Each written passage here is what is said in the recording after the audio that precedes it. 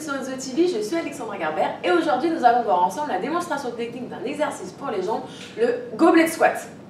Alors tout d'abord je vais vous faire quelques répétitions pour vous montrer de quoi il s'agit, puis je vous parlerai de ses principaux avantages et inconvénients, à qui il s'adresse et enfin nous verrons son exécution plus en détail. Allez, je vais tout de suite faire quelques petites répétitions.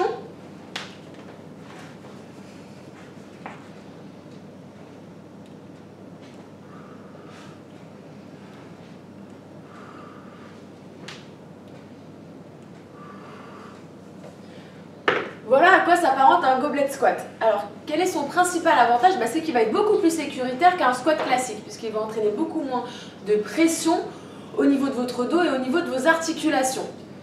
Par contre, l'inconvénient majeur, c'est que vous allez être limité au niveau du poids. Ce n'est pas un exercice où vous allez pouvoir manier des charges très lourdes.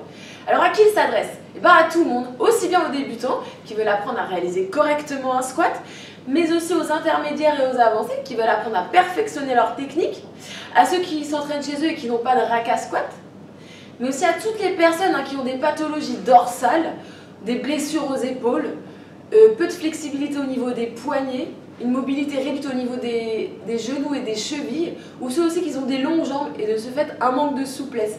Vous voyez, le goblet squat, ça s'adresse à pas mal de monde. Allez, on va passer tout de suite à l'exécution. Alors, vous allez saisir un halter. Ça peut être aussi un kettlebell si vous avez un kettlebell. Vous allez prendre la tête de l'halter entre vos deux paumes de main, de sorte à ce que vos coudes se dirigent vers le bas. Vous allez toujours garder ce poids contre votre poitrine pour éviter hein, d'engendrer un trop grand stress au niveau de vos épaules.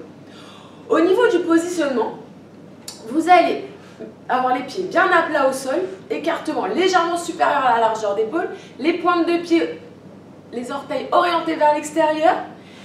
Vous allez toujours regarder droit devant vous, les épaules en position basse, le dos bien droit, on ouvre bien la poitrine, on gagne bien au niveau des abdominaux.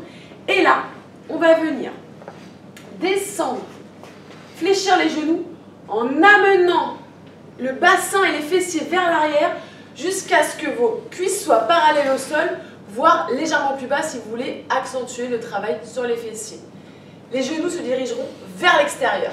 Et vous allez inverser le mouvement en poussant fortement dans les talons, en ramenant le bassin vers l'avant pour revenir à la position initiale.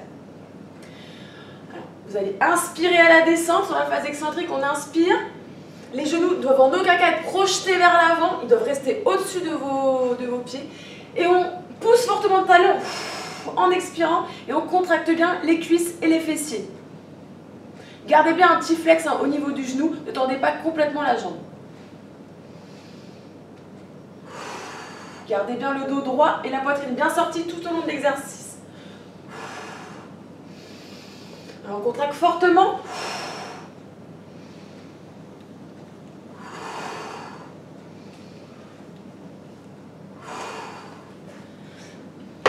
Voilà, alors il y a deux écoles. Hein. Il y a ceux qui vont vous dire faites une flexion complète, hein, un squat complet, cul par terre, et ceux comme moi qui vont vous conseiller de rester à la parallèle au sol, voire légèrement plus bas. Écoutez, qu'est-ce qui va se passer si vous descendez trop bas? Eh bien, votre bassin va être projeté vers l'avant, ce qu'on appelle une rétroversion du bassin. Et le bas du dos va s'arrondir, et ça va entraîner une forte compression sur vos disques intervertébraux. Et à moyen long terme, ça peut entraîner des pathologies dorsales assez sévères. Donc, préservez-vous. Au niveau du nombre de séries, 3-4 séries c'est bien. Le nombre de répétitions, bah, il dépend de votre objectif. Si vous êtes en prise de masse musculaire, entre 8 et 12 répétitions, hein, parce que je vous rappelle, c'est pas un exercice où vous allez pouvoir mettre des, charges très lourdes. Temps de repos, 1 minute 30, 2 minutes maximum. Voilà, je vous rappelle que si vous souhaitez bénéficier de coaching à distance, aussi bien pour des plans alimentaires personnalisés ou des plans d'entraînement ou faire l'acquisition de t-shirts NoFlex to Gain. Je vous invite à aller sur le site enzocoach.fr. Ben voilà, cette vidéo est terminée, j'espère qu'elle vous a plu. Si c'est le cas, abonnez-vous à la chaîne, mettez un petit j'aime, ça me fera plaisir. N'hésitez pas surtout à tester cet exercice et mettre vos ressentis en commentaire. Sur ce, je vous souhaite à tous de très bons entraînements. Je vous dis à bientôt pour une prochaine vidéo. Vous étiez sur Enzo TV, je suis Alexandra Gerber. A ciao les amis, à bientôt